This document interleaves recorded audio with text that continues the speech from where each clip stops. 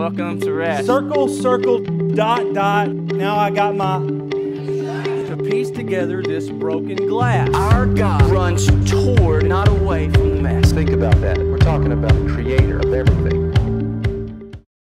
That had legions of demons in him, and he cast him into the pigs. Pigs ran off to the mountain.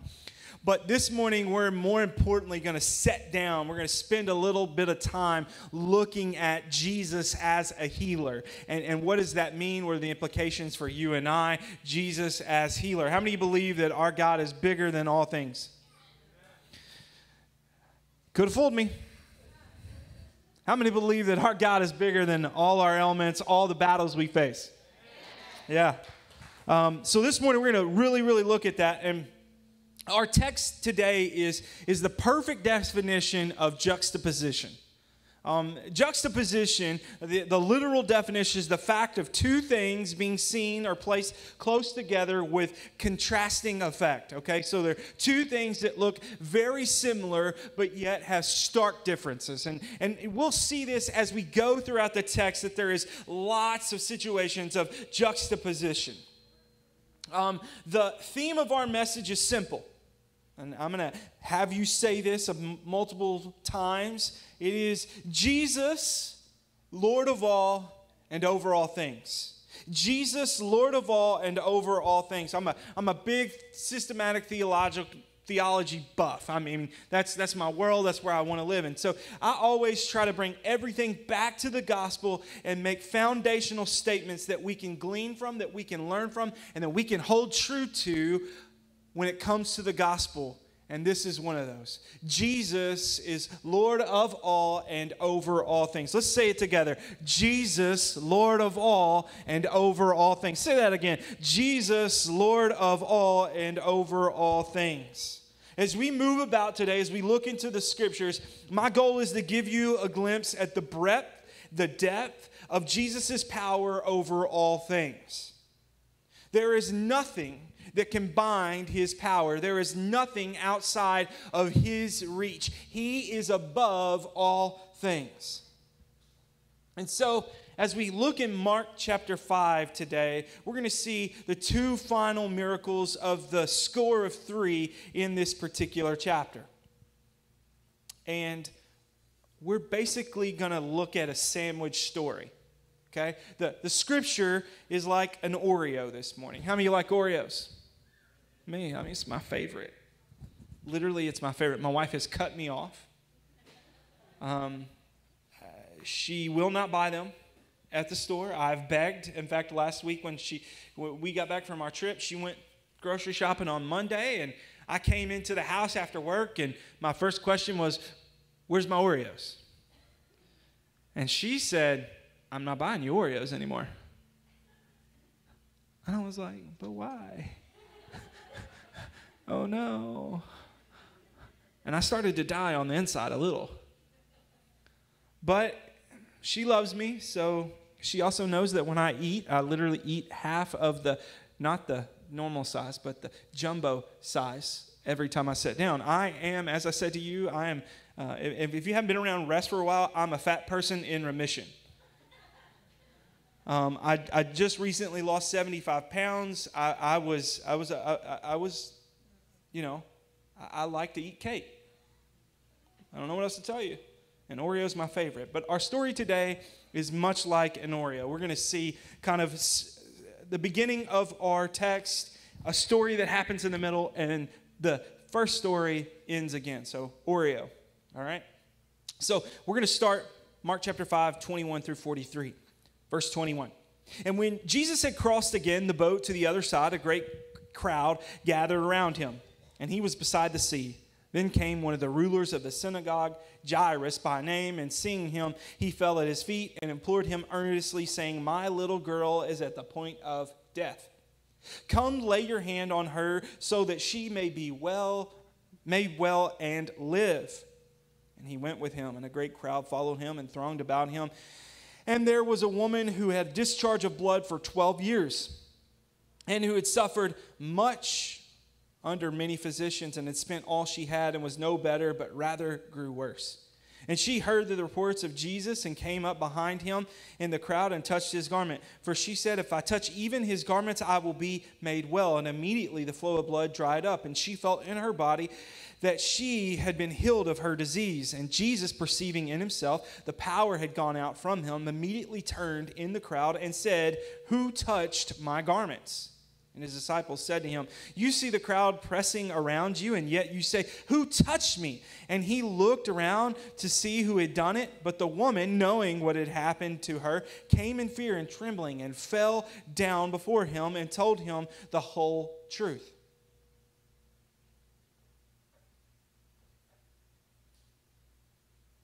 Verse 34 And he said to her, Daughter, your faith has made you well. Go in peace and be healed of your disease.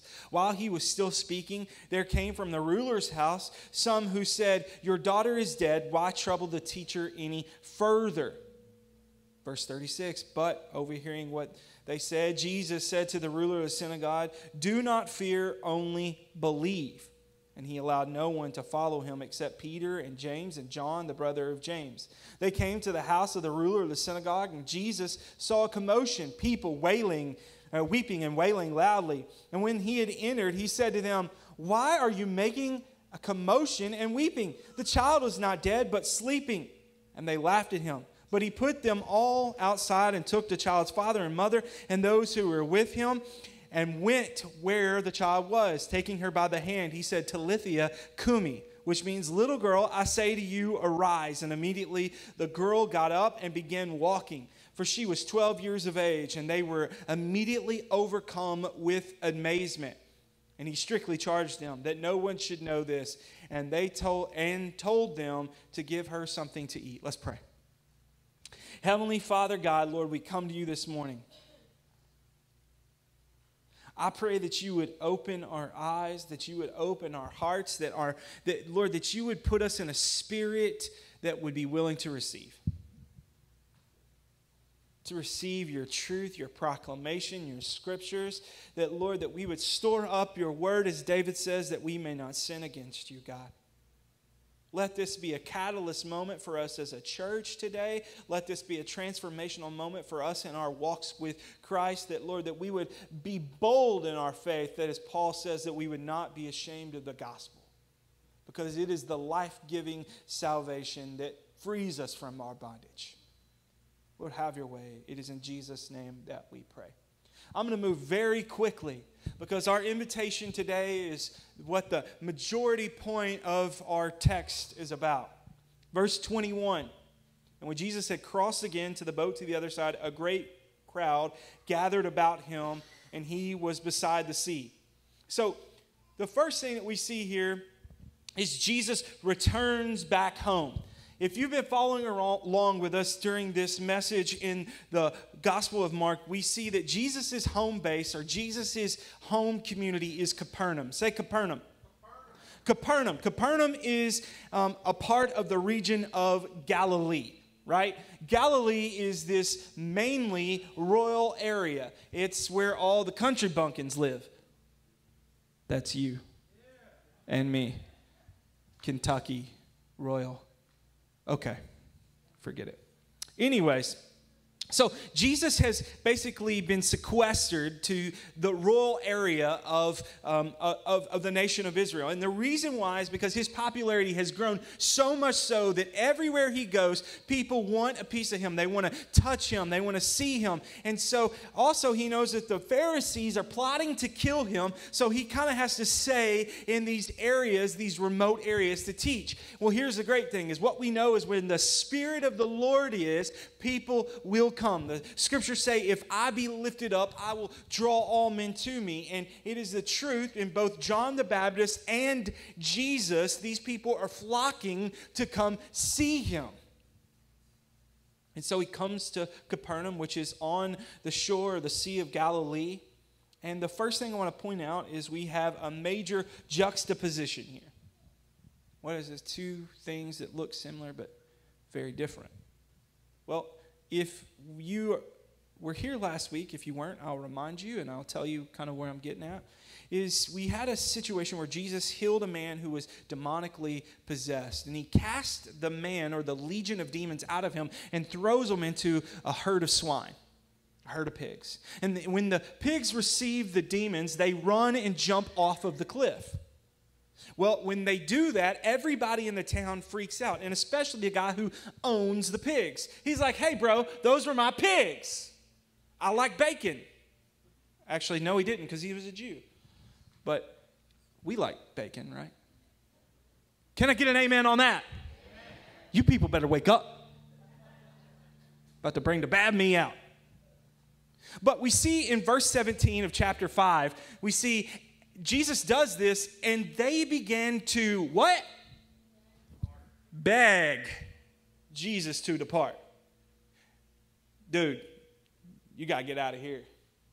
You're turning our town upside down. You, you need to leave. You need your welcome has been wore out. Deuces. Don't let the door hit you where the good Lord split you. That's kind of what they're doing here. Jesus, get out of our town. Well, we come to verse 21, and here's the juxtaposition. And when Jesus had crossed again in the boat to the other side, a what? A great crowd is waiting on him. They are waiting on him. Is Jesus coming? Maybe, maybe it's kind of like your dog does. My dog does this. Like, like she just like waits there, like, is that daddy? Is that, is that daddy? And then the moment I walk in, she's like, ah! It's the same thing. The people in Capernaum, they're waiting. They're looking over the Sea of Galilee. They're like, Is Jesus coming? Is Jesus coming? Is Jesus coming? Because they're eager with expectation that when Jesus shows up, something great will happen. How many of you came to church this morning? Be honest. Don't give me the fake, you know, church stuff. Because I know when you're in the car, you're looking at your husband, you're like, I'll kill you. How many of you came with eager expectation that God would do something today? That's, that's what the people in Capernaum are doing. They're waiting on Jesus with eager expectation, juxtaposition, two different communities with two total, radical, different responses. Verse 22 Then came one of the rulers of the synagogue, Jairus by name, and seeing him, he fell at his feet. And he implored him earnestly, saying, my little daughter is at the point of death. Come lay your hands on her so that she may be made well and live. Jairus is the ruler of the synagogue, which is a layman group of guys who have uh, um, administration and maintenance or custodial duties in the house of worship. Be much kind of like our modern day deacons are in our church. He's not the pastor Rather, he selects the, the priest or the rabbi who will read the daily scripture and teach from the Torah or give the reading of the prophets. And so we see here that this particular man comes to Jesus in desperation. What is peculiar about this is if you rewind in the book of Mark, Mark chapter 3, Jesus heals a guy who has a withered hand. And he does it on the Sabbath. And the Pharisees lose their mind. They're like, you, you can't do that on the Sabbath. That's working. And Jesus shakes them off. He says, Man, or the Sabbath wasn't made for man, man was made for the, or vice versa. Man was not made for the Sabbath, Sabbath was made for man. And so, in this moment, when Jesus heals this guy with a withered hand, they begin to plot to kill him. And Jairus is a part of that group who's plotting to kill Jesus. Now, what has changed? Why is Jairus all of a sudden willing to come in front of God and everybody else in the middle of broad daylight, to fall at his knees and say, Teacher, Come heal my little girl. Come touch my little girl that she may be made well. What has changed? His priorities have been realigned, which has realigned his stance on who Jesus is. See, when we're desperate, when your house is about to be foreclosed upon, when you're marriage is on the rocks or on the brink of divorce, you begin to do things, or I hope you begin to do things that are different than the way you were doing them before. So that you might save what you have invested your time in. In the same way, Jairus has came and he is saying to Jesus, I am desperate. I need you. Help me, please. Don't miss this. Don't, don't, don't, don't miss this. Jesus does not look at him and say, Hey, weren't you a part of that group who was talking about killing me? Jesus isn't petty like you and I are. Can we all be honest? Can we all be honest? Because you know what we do? Our typical response there is, uh, uh, I wasn't good enough for you last week, so don't come to me needing something now. Some of y'all don't even know what to do right now because I'm reading your book. You treat people like that. But Jesus is the perfect example for us. Jesus is showing us that we, as Christ followers, we, as image bearers of the Son of God, we don't treat people petty. No, we say, we will meet you in your need. We will help you in your time of need. Because what we know is we have been greatly forgiven. We were the great transgressors. We stood opposed to God, and yet He spoke our name. He called us out of our sin and our bondage, and He gave us freedom. Therefore, we as Christ followers, we don't need to be petty. We don't need to be petty. We don't need to look at the world and say, I wasn't good enough for you then, I'm not good enough for you now. If that's you, you are in sin. Yes, I pointed my finger at you. Because that's me sometimes too. Because sometimes I'm just like, ah, I don't want to deal with it. I don't want to deal with them. They're always, oh, oh my gosh, they're a, they're a social piranha, a leech on my life. But Christ has called me to love them, to meet them in their moment, just as he does here with Jairus. Just how desperate is Jairus? He falls at the feet of Jesus in broad daylight for everyone to see. Jairus approaches Jesus without his pride, his social standing in mind, but rather with a knowledge that it will take a touch of the master to heal his girl. Let, let me add on top of this. Why would he do it? Because as Luke 8:42 tells us, he points out that this is Jairus' only daughter. And one thing I know is that daddies love their little girl. Daddies adore their little girl. Yeah, they're boys. Yeah, they're boys. They're whatever. But when it comes to their little girl, don't you mess with their little girl. Amen, Randy? Jairus on his knees, he says, Come, lay your hands on her so that she may be made well and live. He came to Jesus because he has firsthand knowledge of the power that Jesus wields and possesses. And let me, let me just rewind you here. In Capernaum alone, Jesus has made multiple healings. In this particular community, Jesus has done multiple things. Mark 1, Jesus heals a man with an unclean spirit. He heals many others, including Peter's mother in law. Mark 2, Jesus heals the paralytic man who is lowered through the roof as Jesus is teaching. Mark 3, Jesus heals a man with a withered hand on the Sabbath in the synagogue. He knows full well that Jesus has all the power necessary to help his little girl. So that's why Jairus is at the feet of Jesus. Verse 24. And he went with him and a great crowd followed him and thronged about him. I want to I want you to notice something. There isn't this debate or this dialogue between Jesus and Jairus when Jairus falls at the feet of Jesus. Jesus doesn't say, "Tell me a little bit more." No, Jesus goes with him. Jesus is a man of action. Everything he does is deliberate and methodical, and that is exactly what Jesus does. Here, he takes Jairus immediately and he goes with him. And a great crowd followed him and thronged him. As we said a few weeks ago, Jesus has basically became this rock star in the communities surrounding Capernaum and Capernaum alone. Everywhere he goes, there are people trying to touch him, trying to be with him, and, and, and they want a moment of Jesus' time, just like like Jairus here. And, and he, he The Greek transliterates to this word, they thronged about him.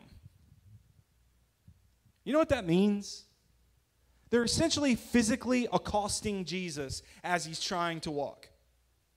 I mean, have you ever watched um, like like a UFC fight when they come to when they're going to the arena there's like 12 security guys and they're all like making way or the or the uh, secret service for the president they're like literally they don't care about your baby they're pushing people down making way so that they can move. This is essentially what's happening here except Jesus, his disciples, they're not bodyguards, they're not secret service agents, they're just disciples, they're random dudes like you and me. And so everywhere Jesus goes, there are people like reaching over, grabbing, pushing, stopping, preventing Jesus from moving about.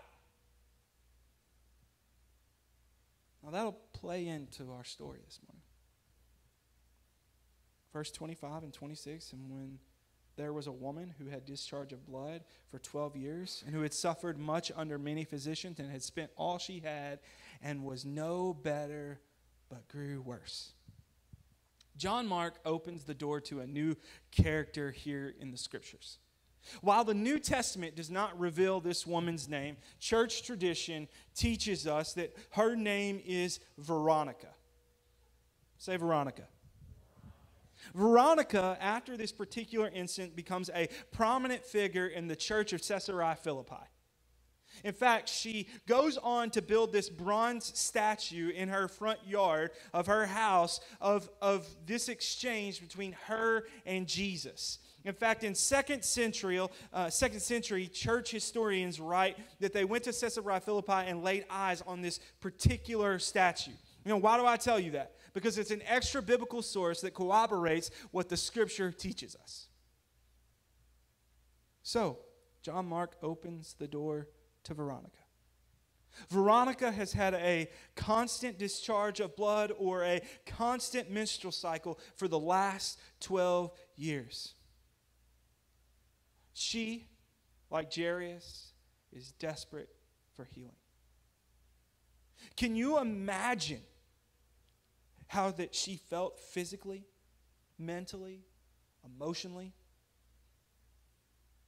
She probably looks many years older than she actually is from her body constantly losing blood, being weak and fatigued, anemic. How about mentally?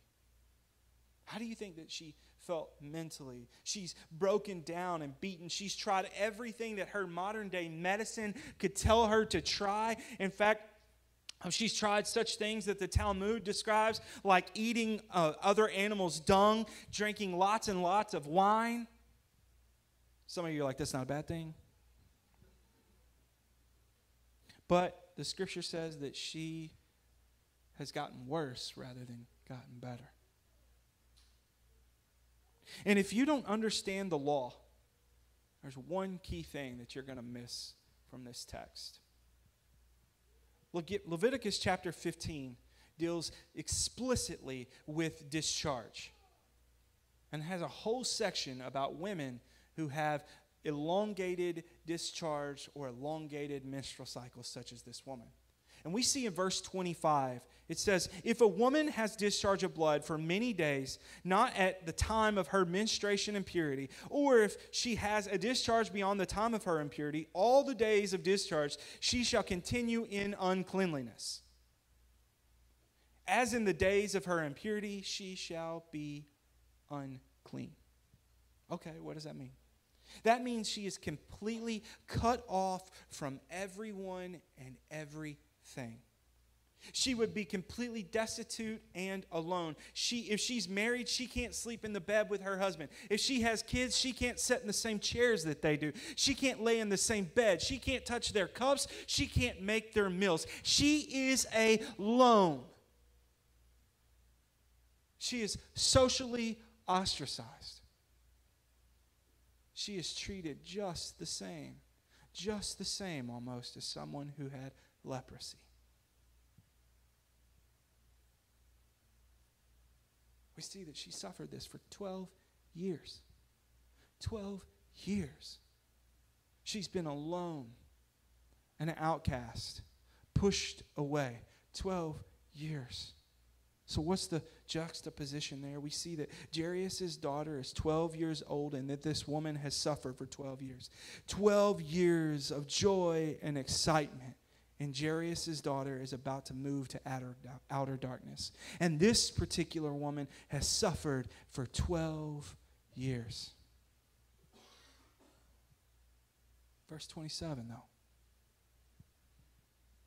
She had heard the reports about Jesus and came up from behind him in the crowd and touched his garment. Heard reports about Jesus. She had heard reports about Jesus. What do you think that she's heard? I'm going to tell you what she's heard. She's heard that Jesus does not reject the rejected of this world. Rather, Jesus binds up the brokenhearted. He mends and heals those who are sick and who are far from Him. Those whose lives are total wrecks, Jesus fixes them. Those are the reports that she has heard. I want to tell you this morning if you came into this place, your life is wrecked. You can't seem to get your junk together. Your marriage is a mess. Your finances are a mess. Your kids are so bad you don't even like them. I want to tell you there's hope in Jesus. Because Jesus came for you. I want you to hear me. I want you to hear me. Might, you might hear it at another church, Jesus came for those who are in a suit and tie and look good, drive the nice car. I want to tell you that's hogwash, and that's the exact opposite of what the gospel tells us. The gospel said that Jesus came for the sick, those who are broken, those who are in need of the master's touch. He came for you. That's who Jesus came from. And that's the reports that she's heard. She's heard people say such things like, He heals lepers. He doesn't say, Get away from me, get out of my face, oh, you lepers. No, no, no, no. No, no, no. He says, Come to me, all you who are weary and heavy laden. I'll fix you, homie. That's what he says. And so she's heard the reports and she comes to Jesus. But notice we see that she come came up from behind him. See, she remembers Leviticus chapter 15. She knows her social status. She knows that she is unclean, that anybody she touches will also, in passing, be unclean. In case you don't know what that means, that means different, in the different types of touches, they can be unclean for up to seven days, meaning that they, they can't go out. They can't have dinner with anybody else. They can't talk to anybody else. Can't shake their hand. Can't open their door. None of that. They're, they're completely cast out. And so she knows her status. Every person that she touches will be unclean. So I would imagine she's very deliberate in her approach to Jesus. Very deliberate. And she, she comes up from behind him almost like a thing of secrecy, a thing of shame. Maybe you're here today and you feel that same shame. But she says in her mind, verse 28, if I touch even his garments, I will be made well. She has the faith to believe that if she would touch the hem of his garment, what is called to as the talit, say talit, talit. The talit is the blue tassel portion that was on a Jewish male's robe. This talit, or the blue border portion, was on every single male's robe or tunic. It was to symbolize the direct relationship between God and the nation of Israel. That God will always protect the borders of Zion. And so they all wore it. And so when she says in her mind, if I touch even the tassel, if I just touch that blue border, I will be made whole again. Verse 29. And immediately the flow of blood dried up, and she felt in her body that she was healed of her disease. Immediately. The power of Jesus is real and immediate. I want you to hear me. The power of Jesus is real and immediate. To, to us in our postmodern world, as a 21st century American, right now in your mind, that feels so far removed from you. You, you might sit there and you might be like, oh, that sounds like a great Bible story. You don't know what that means. You don't understand the implications that Jesus' touch is immediate. Let's look on verse 30. And Jesus, perceiving in himself that the power had gone out from him, immediately turned around about in the crowd and said, Who touched me? Do you remember that portion I was talking about earlier where Jesus gets off the boat and he's being treated like a rock star and everybody's wanting to touch him and he's, he's getting thronged about, as the scripture says? Let me physically, they're like uh, accosting him, touching him. Jesus, Jesus, Jesus, Jesus, Jesus, Jesus, Jesus.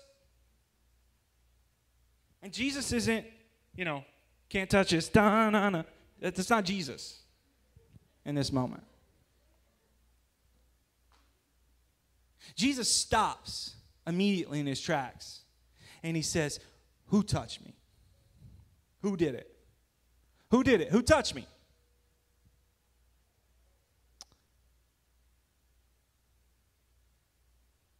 And verse 31, the disciples said exactly what you and I would say, right? Like, Jesus, you're basically playing football out there, trying to get to Jairus' house, and you're going to ask, Who touched you? Who touched you? Come on, man. Be for real. Who touched you? That's exactly what the disciples say. You see the crowd pressing around you, and yet you say, Who touched me? Jesus, that's an audacious question. Who touched me?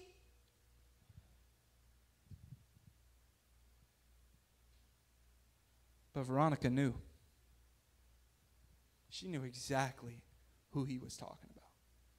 Verse 33, we see she comes and she finds herself in the exact same position as Jairus. Once again, we see that juxtaposition. Except she's already received healing and she is bowing before Jesus. And she begins to lay out everything that's going on. Can you imagine the sorrow and the joy that she has in this moment? She said she's probably talking loud and fast like a woman who gets excited. I, I've been bleeding for 12 years. Uh, my body has been weak. I, I have been broken down. I, I've lost everything. I have no money. I spent it all doing these random, ridiculous things these physicians have told me. And, and I believed in a moment that when I touched your, when I touched your talit, when I touched the talit, that I would be healed. And I was, Jesus. I was, I was, I was.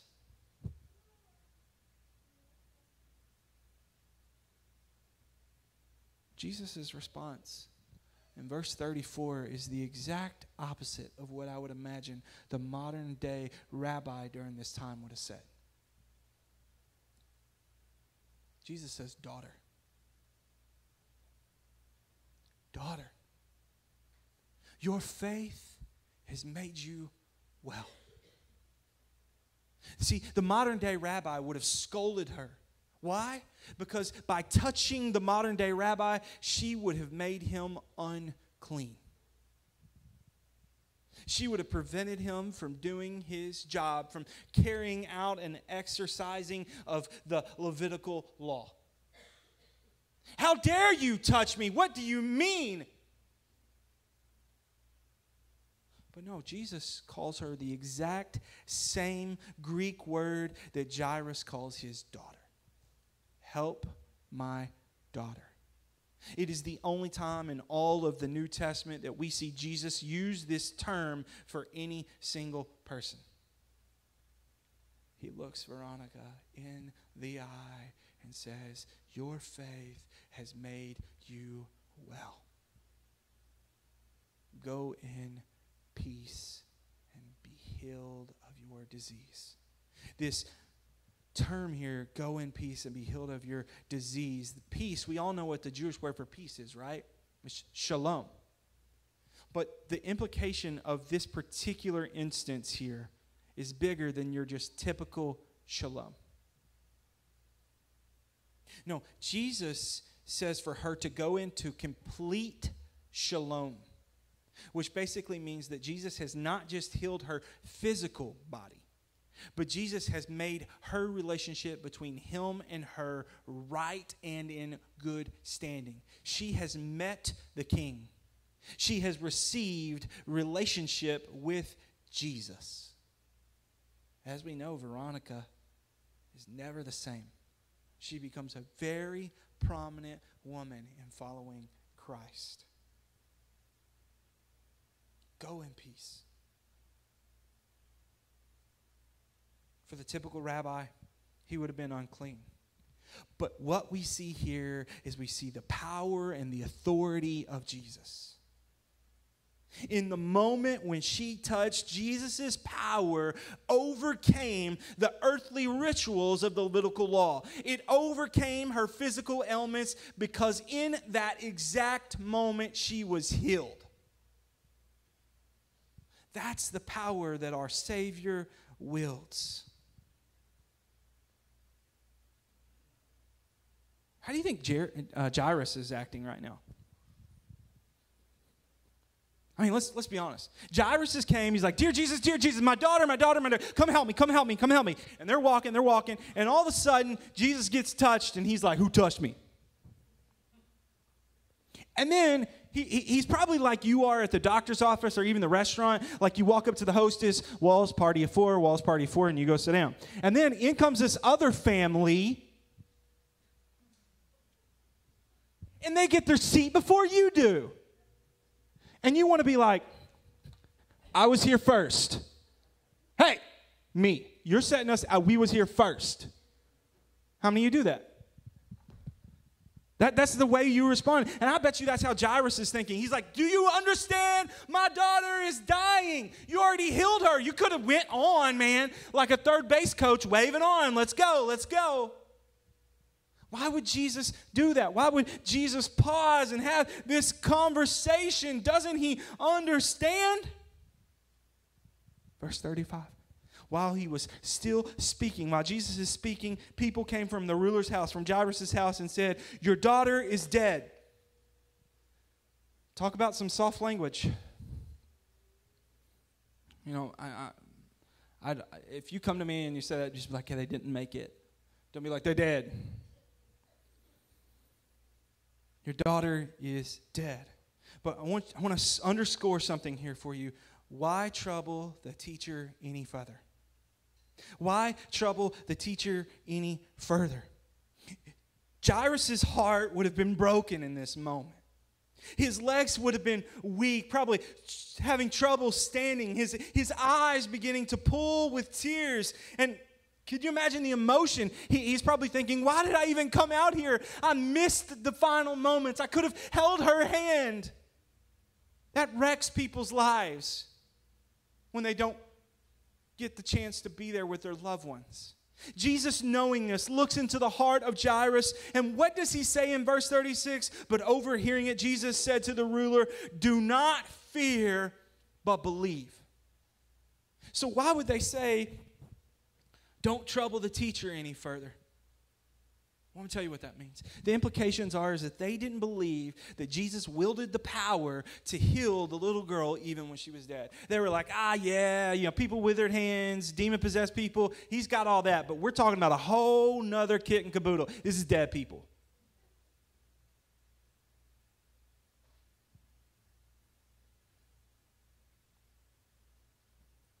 But Jesus says, do not fear only believe. He essentially is saying, shut out the world and hold tightly to me. Hold firm in your faith in me. Remember what you've seen me do. Remember what you just saw me do to this woman.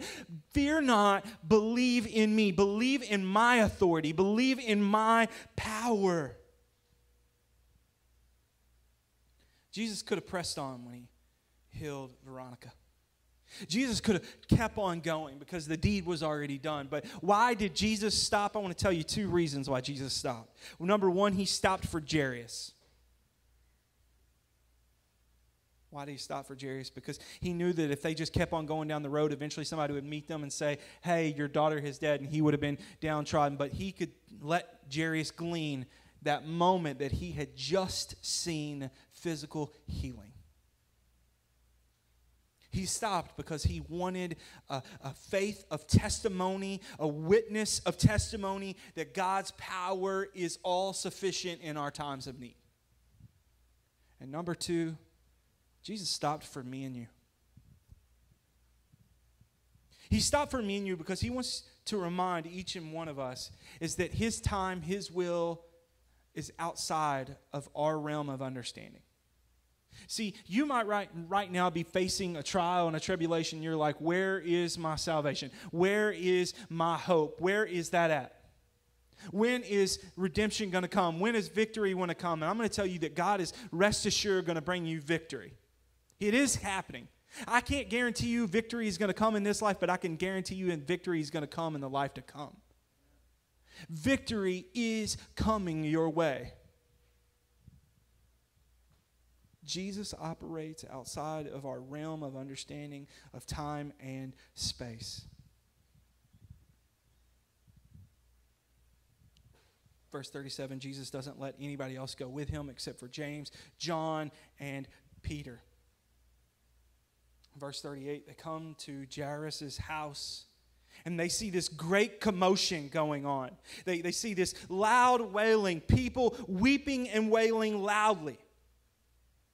Verse 39, it says, And when they entered, he said to them, Why are you making a commotion and weeping? The child is not dead, but sleeping. I want to pause there. Why is this going on? Because during this time, they didn't have Facebook, they didn't send out obituaries to the newspaper to let everybody know you died. No, what they did is they hired professional mourners who would show up at your house and who would scream and wail as loud as they possibly can so that the whole neighborhood would know that somebody died. That's how they did it. And these people were paid to literally show up and boohoo and cry. It sounds like a lot of fun, right? They're professional mourners. But Jesus said, Why are you making a commotion? She's only sleeping. Verse 40, what does it say they did? They laughed at him. That's how you know it wasn't genuine. They went from, they scorn Jesus. Are you an idiot? I mean, they're probably going, they're probably going, um, you know, with all due respect, we're professional mourners. We know a stiff when we see one. That's, that's literally, they're scorning Jesus. They're saying, we know dead people. That's what we do. But Jesus says she's only sleeping, the allegorical term for the space between life and death.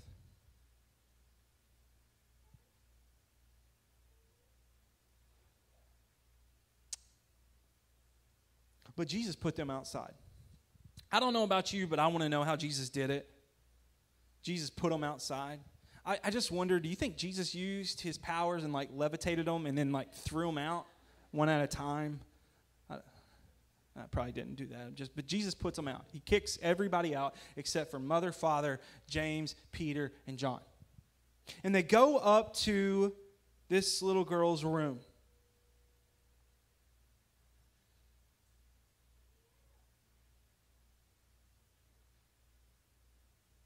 And he said in her native household tongue, in Aramaic, Talitha Kumi, which means, Little girl, I say to you, arise. Jesus physically touches her hand. And scholars believe probably the best translation of her, of him speaking to her in Aramaic was, Little lamb, arise. Little lamb, arise. Little lamb, arise. A, a very near and dear term of endearment. Just as us saying maybe to maybe you're a daddy who calls your little girl pumpkin. Pumpkin, come on, baby. Come on, little lamb. And verse 42 and immediately the girl got up and began to walk, and they were astonished. They were amazed. Jesus gives instant healing again. So, what's the implication for us as a church and as Christ followers? What's the implications for us? What do I mean by that? What does, what does that mean? How do I literally put this, this scripture, these words into context into my life? What, how do I live this out, Pastor? Yeah, it sounds good. Jesus is a healer. But what does that mean for me? Number one, our God is all powerful. Jesus is Lord of all and over all things. There is nothing outside of his reach or grasp. There is no sickness, no trial, no tribulation, no demon, no angel, nor any death bigger than our Jesus. Hey, thanks for hanging out with us today. We pray that this message has challenged, encouraged, and shaped you a little more into the person that God dreamed you would be. If you've been blessed in any way through the ministry of Rest Church, or you have a prayer request, we want you to go to our app under the prayer request section and submit that so we can see how God is impacting your story. We were never meant to do life alone, and so we're so thankful for a family like you to do life with. In fact, it's your generosity that's helped spread the gospel here at Rest Church. And so if you would like to give, feel free to do so by texting the word GIVE, G I V E, to 270 366 7947 and followed with your dollar amount. Thank you so much for letting us speak truth into your life through God's Word week to week. Have an amazing day.